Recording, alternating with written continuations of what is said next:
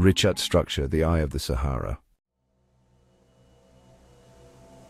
From the vast expanse of the Sahara Desert emerges a site so unique it can be seen from space.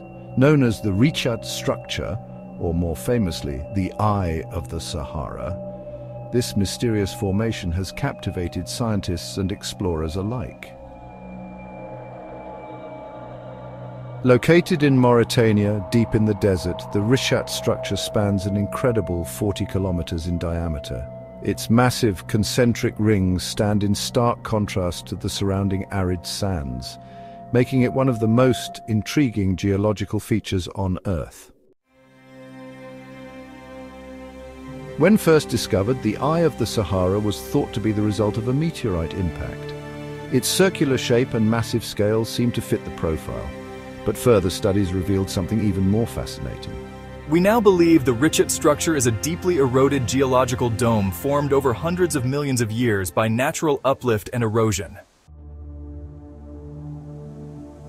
This dome consists of ancient rock layers, some of which date back over 500 million years, predating life itself. Over time, wind and water carved away the softer layers, revealing this mesmerizing bullseye pattern. The Richat structure is not just a geological marvel. It also provides a window into Earth's distant past, showcasing layers of sedimentary rock that hold clues to the planet's early history.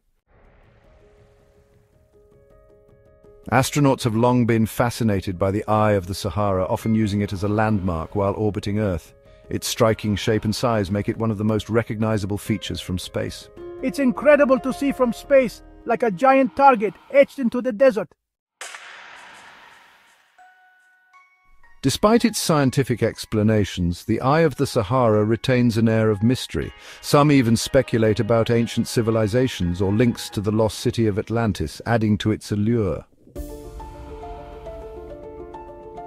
The Richat structure is a testament to Earth's incredible geological history, a place where science, wonder, and the imagination converge.